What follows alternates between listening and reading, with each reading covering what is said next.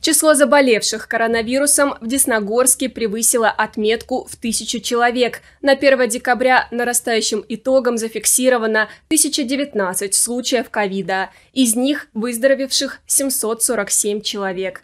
Такие данные предоставили медучреждения города на плановом заседании комиссии по чрезвычайным ситуациям, которое прошло во вторник 1 декабря.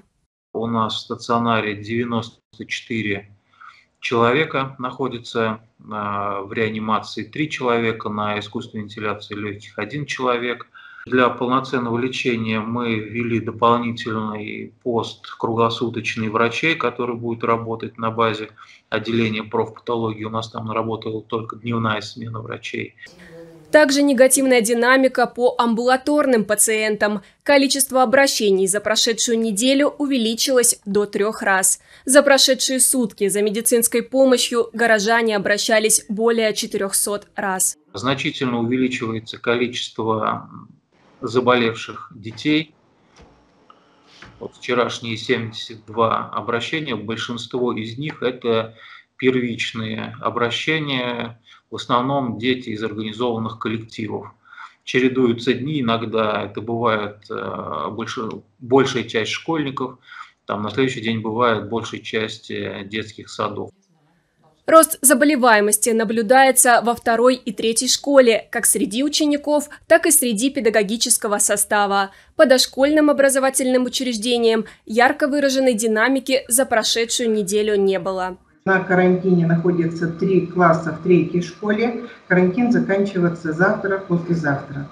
Э, в первой школе один класс до 11 декабря и вот во второй школе один класс до 8 декабря.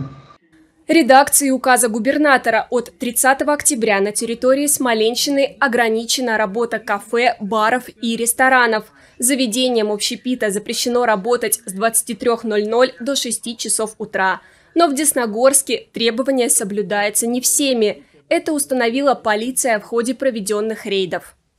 При проверке э, в данных помещениях, не буду называть сейчас каких, в одном обнаружено порядка 30 молодых людей. Даже есть люди, которые не достигли и 18 лет находились там. Нами были оттуда выдворены.